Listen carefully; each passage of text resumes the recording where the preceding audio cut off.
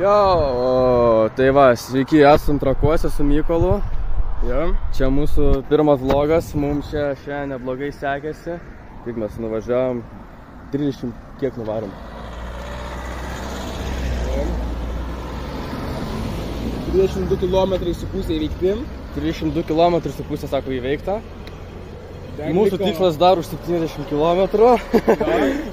Čia Iš viso kažkur liko 400 beveik. prie Kauno. Tai va, kaip ką aš žinau, kaip Mykolai, kokios tavo nuotaikos, kokie pat- patyrimai. Visą normaliai. Visai normaliai. Bus sunku, bet nuvažiuosim. Po tragedijos nebus, nuvažiuosim. Tai va, jis sako, tragedijos nebus, aš irgi tikiuosi, kad nebus kokių padangų sprogimų, dviračių lūžimų, jau galvoju, karo čia turim biški pažeistą rėmą čia.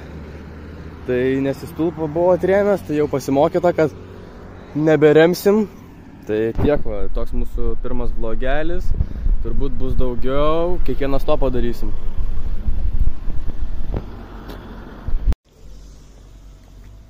Taigi, nuvažiavom 60 km jau. Mykolas jau išsirengęs. Aš va gurką su duona jau. E, Blamba. Šiaip nežinau, koja skauda, skauda, jaučiasi kojytės, ne Mykolai? Jaučiasi. Nusipirkom vandenuko dar parduotuvėje, užsipylėm gertuvės. Nusipirkom 3 litrus. Ryt, ryt, blemba. litrus. Pilna burna. Mhm. Čia va training. Dar liko važiuoti mums šiaip. Mm,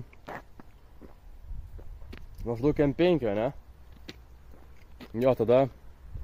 Į Birštoną. Pala, kur mes ten? Birštoną, ne? Jo. Tai Birštoną važiuosim, ten turbūt pavalgysim pietus. Ir nuo Birštono apie kokią 5 km bus mūsų stovyklavietė jau. Tai va. Tai dar liko kokios 2 valandos važiuoti gerai, jeigu ne daugiau. Bet šiaip gražu, va pavėsi dabar palsėti tikrai faina.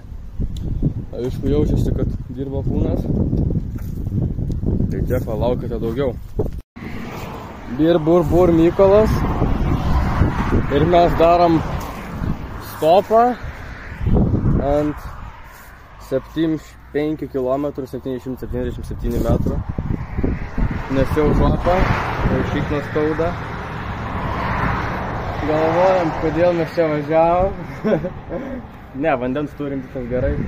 Iki Biršto liko apie 20 km. Mes tu čia sėdim pavėsį, polisėsim, paskui vėl. Mykolas dabar 10 km ves. A ne, Mykolas. A ne. Tai va. Tai tiek. Turbūt sustiksim, nežinau ar išgyvensim, bet sustiksim.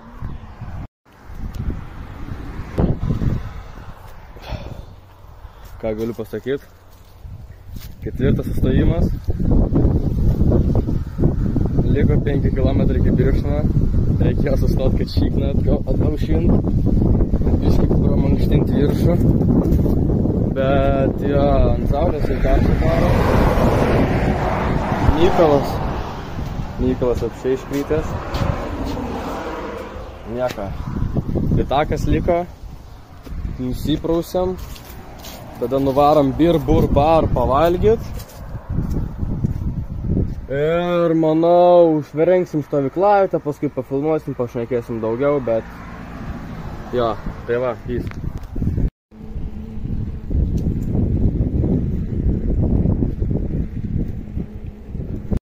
Taigi, šiandien buvo įveikta 108 km. Dabar jau mes įsikūrėm, kaip matot pas mus lyja, sėdžiu po stogeliu ir tuo aprodysiu jums vietą, bet pačiu pradžia tai pavalgiam skaniai šitam uh, tokioj kavinė, net pamiršau, ką vadinas, bet labai jokingai vadinas. Ir šitą tada išsimaudėm pagrindiniam pleže, tada pavalgėm kavinį ir dabar atvažiavam į šitą vietą. Ir kaip matot, čia va parodysiu, esam prie upės. Tokioj vietelį. Turim čia turnikus, pasportuot.